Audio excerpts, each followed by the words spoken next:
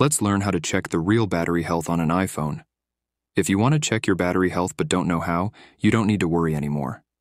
After watching this video, I'll show you how to do it. In this video, I'll show you two ways to check your battery health. The first way is to open the Settings app.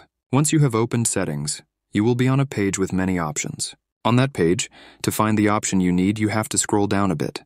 When you do that, you need to click on the battery option. When you click on that option, a page with more options will open. From all those options, you need to click on Battery Health and Charging.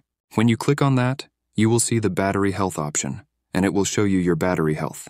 As you can see, my battery health is 87% because I have had this iPhone for a while. This was a simple way to see battery health, which doesn't give us much detailed information about the battery health. But if you want more detailed information, you need to follow my next steps.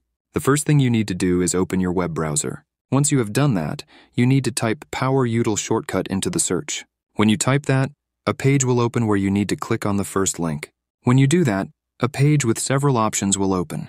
From those options, you need to click on the blue option named Add to Shortcuts. When you do that, a page in the Shortcuts app will open. On that page, you need to click on the Add Shortcut button at the bottom of the page. Next, you need to open the Settings app again. When you have opened Settings, go back to the main page, and then you need to click on Privacy and Security.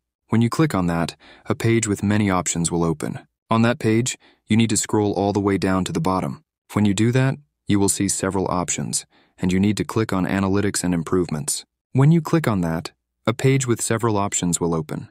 You need to make sure that the Share iPhone and Watch Analytics option at the top is turned on. When that option is turned on, you need to click on the Analytics Data option located just below the Share Analytics option. When you click on that, a page with lots of analytics will open. On that page, you need to click on today's date next to the text Analytics. When you click on today's date, a page with lots of information will open. On that page, you need to click on the Share option in the top right corner of the screen. When you click on that, a menu will open where you need to scroll down. When you do that, you need to click on the option named Power Util. When you click on that, a page with several pieces of information will open, including battery health. You can also see how many times your phone has been discharged from 100% to 0%. And that's it. That was the tutorial on how to check your battery health. So thanks for watching, and see you in the next video.